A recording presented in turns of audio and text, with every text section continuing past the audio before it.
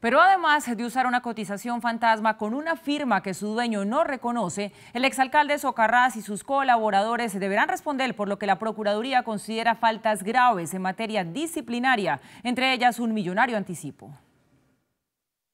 Para la Procuraduría es claro que la firma de Natalia Springer no tenía la experticia necesaria para manejar el proyecto de la Escuela Vallenata para la Paz y lo dejó plasmado en el pliego de cargos.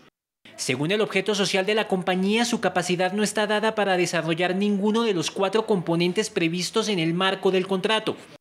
De hecho, la Procuraduría les pidió una referencia laboral acerca de la empresa de Springer a los observatorios de paz de las Universidades Nacional y Jorge Tadeo Lozano, y esta fue la respuesta. No tenemos referencia de la firma como ente especializado y acreditado en el tema específico de formadores de gestores de paz. Para la Procuraduría es claro que la alcaldía de Freddy Socarrás no estudió a fondo el perfil de la empresa de Springer y que aceleró los trámites para asignarle prácticamente a dedo el contrato.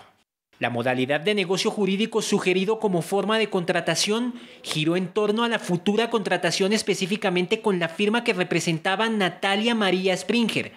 pero como si fuera poco, la administración del alcalde Socarrás, por pedido expreso y por escrito de Natalia Springer, y antes de comenzar a ejecutar el contrato, le aprobó y entregó un anticipo por valor de 420 millones de pesos.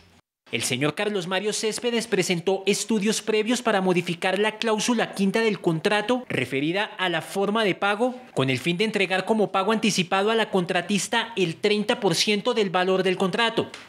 Según la investigación del Ministerio Público, el proceso para aprobar y elegir la propuesta de Natalia Springer tomó apenas 24 horas.